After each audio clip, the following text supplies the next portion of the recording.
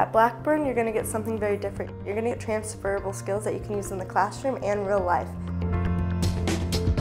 Through the work program, I've learned how to manage my time. I've become a more independent person, but a more confident person with that.